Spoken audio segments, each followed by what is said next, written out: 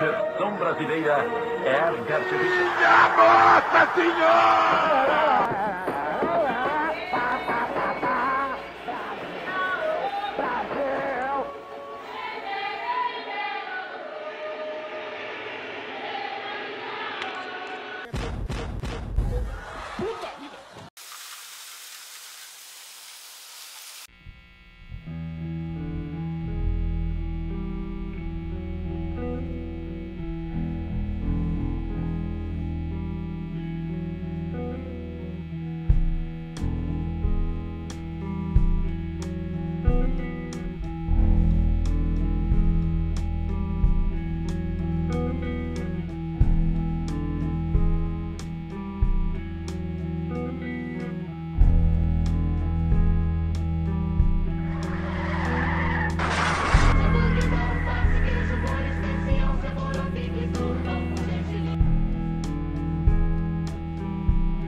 De onde você fala, Marta? Graças a Deus. Olha que beleza, tá muito frio aí? Tá calor. Tá calor? É, chuva. E a chuva? Já tá chovendo. Tá chovendo. semana hoje já choveu.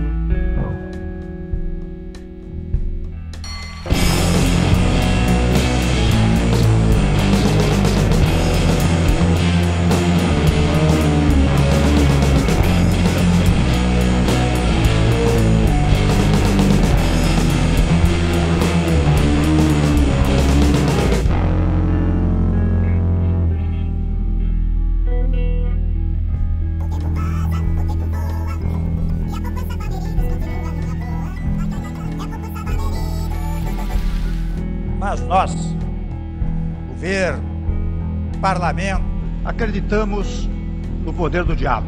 Das Gebot ihres Herzens nicht hergerufen hat als das Gebot ihrer Treue.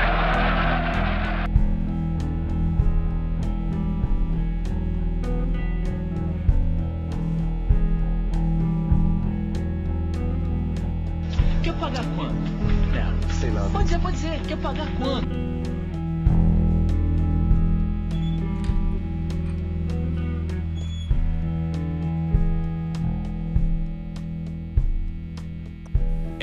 Mais uma história que o povo conta.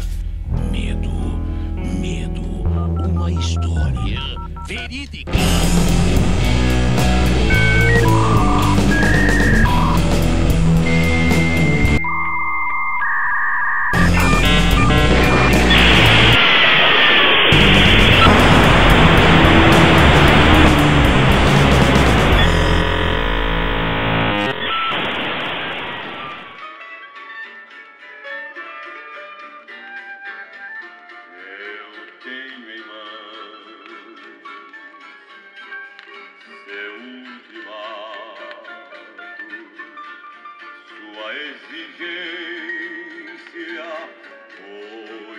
Um fato, já não transige.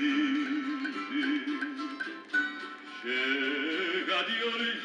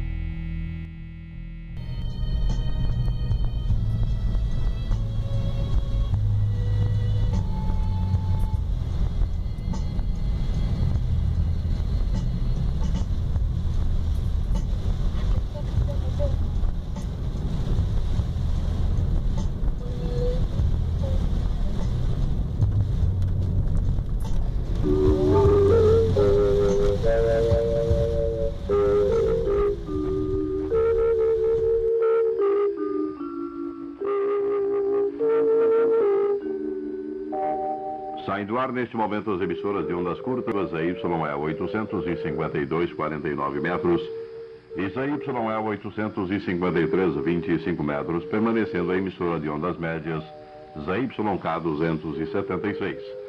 Aos ouvintes das ondas curtas, o convite para estarem conosco logo mais às 6 horas.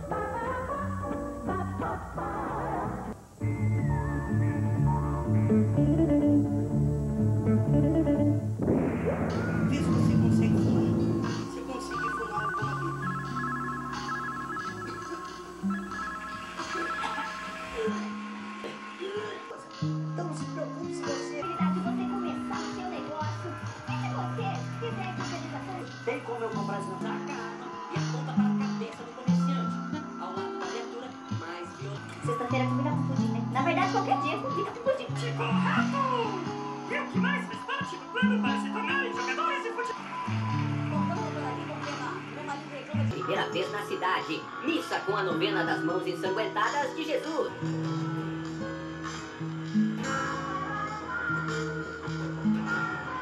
Essa luz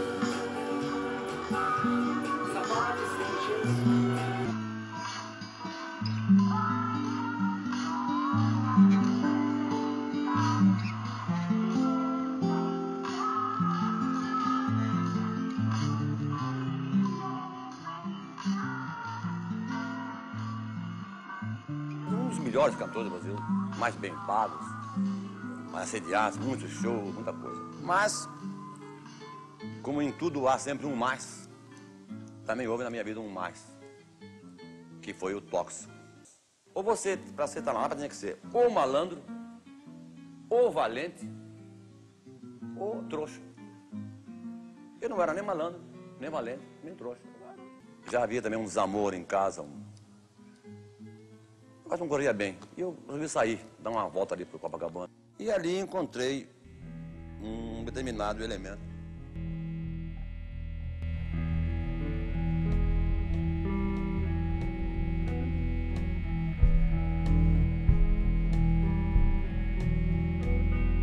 Aí tirou uma cadeira do bolso, tirou um pozinho branco, botou na cadeira e bateu com o pente assim.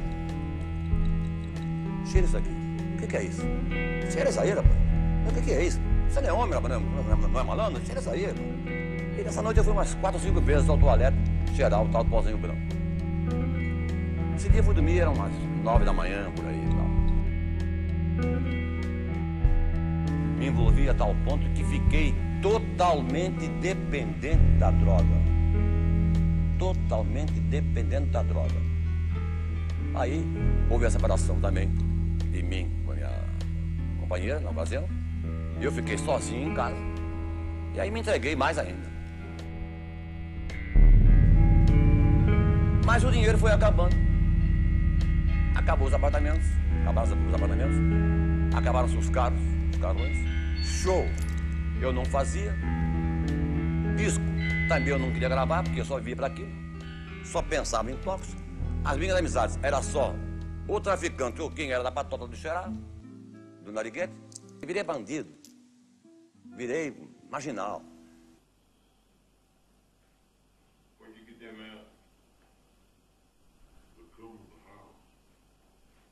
Contra mais de 5% de valorização. Valorização. Um excepcional jogador que agora está liberado, a gente coloca. Mas tem que rolar um.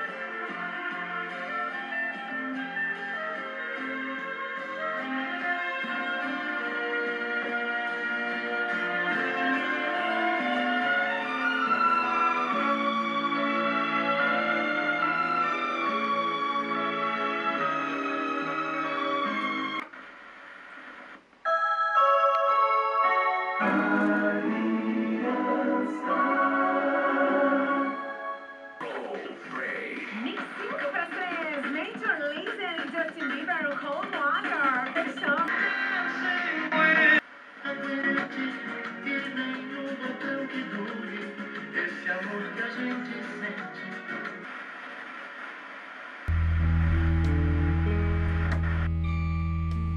Tive a minha casa arrombada, fui preso, algemado, fui pagado de detenção. Chamei minha mulher. Disse, olha aqui, eu vou parar. Ela trancou toda a casa, eu fiquei em casa ali. Tinha uma igreja em frente à minha casa. E eu passei a ouvir e a contar as horas através do sino. Uma, duas, três, quatro, cinco horas, porque eu não dormia.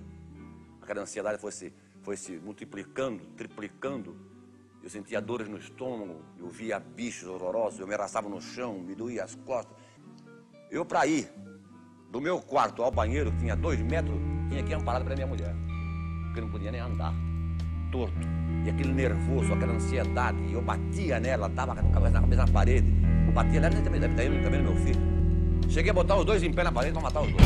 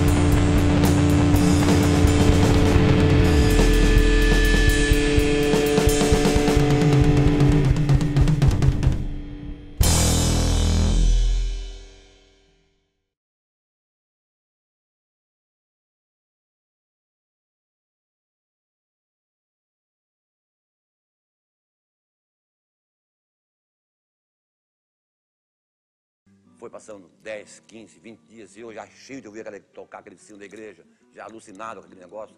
Até que um dia eu estava na sala vendo televisão, depois de uns quase quatro meses, quase quatro meses de ansiedade, de, de loucura total, íntima, de querer uma coisa que não tinha, aquela ansiedade louca. Eu adormeci na sala, adormeci. E acordei, levei um, quando acordei, levei um susto. Parece que eu tinha vindo de um outro lugar. Aí, eu olhei para o relógio e disse assim, Luísa, vem cá. Aí, o que foi? Disse, dormi 20 minutos. Quatro meses depois, eu tinha dormido 20 minutos. 20 minutos depois de quatro meses. E aí, então, tive certeza. Aí, que eu ia deixar o tóxico. Aí, os meus calmantes, eu fui tomando, sopa na, na, na boca, me dava, caldinho tudo na boca e tal. Depois de seis meses eu saí do meu quarto para ir até a varanda, que tinha assim, uns 12 ou 15 metros na rua, de manhã cedinho. E eu vi então, como se fosse hoje, eu vi um padeiro entregando pão, leiteiro entregando leite e uma mulher varando na calçada. Naquele momento foi que eu acordei para a vida. Eu digo, meu Deus do céu, eu sou o cantor, o homem que, que voltou do inferno. Eu voltei de, um outra, de uma outra dimensão, um outro mundo, que era o inferno realmente. Foi ali que eu me encontrei.